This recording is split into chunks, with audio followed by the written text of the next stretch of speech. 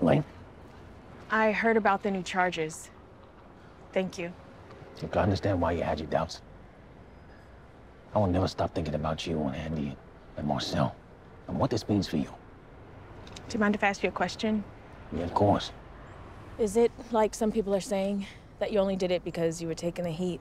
Or did you have this planned all along? I can't answer that question. By law. Then I owe you an apology. You should never apologize to me for anything. Ever. I wanted you to have this. It's some of our home videos, so you can always remember who Andy was.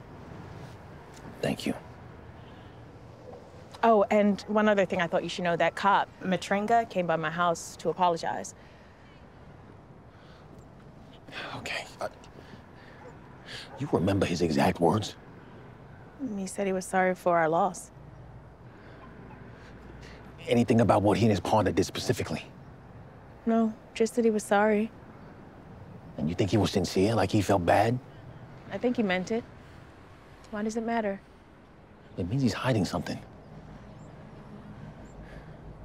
Something big.